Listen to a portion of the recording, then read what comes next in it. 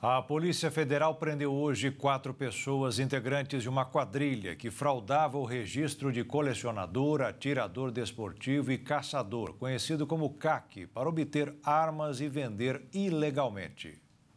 De acordo com a PF, os criminosos usavam as redes sociais para captar clientes. Os agentes cumpriram ainda 37 mandados de busca e apreensão e 11 ordens de suspensão de atividades econômicas, atingindo clubes de tiros e lojas de armas em três estados: Pernambuco, Alagoas e São Paulo. Os mandados foram expedidos pela Justiça Federal de Caruaru, em Pernambuco, onde as investigações tiveram início em 2021.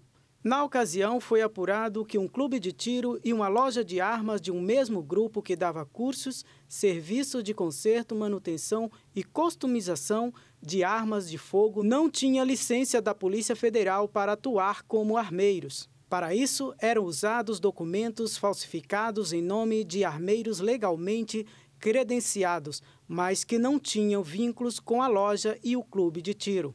Em Maceió, capital alagoana, o alvo da operação foi uma loja de armas, onde uma pessoa foi presa e documentos foram apreendidos.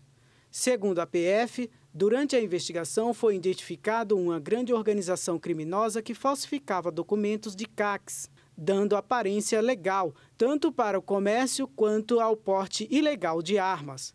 No cumprimento dos mandados, foi verificado que o esquema era operado através de registro de cidadãos mediante declarações falsas de que seriam caçadores, colecionadores ou atiradores esportivos, para possibilitar a compra e o porte de armas de fogo de maneira ilegal. A operação vai prosseguir para identificar outros envolvidos e apurar a execução de fraudes contra os sistemas dos órgãos públicos de fiscalização e controle.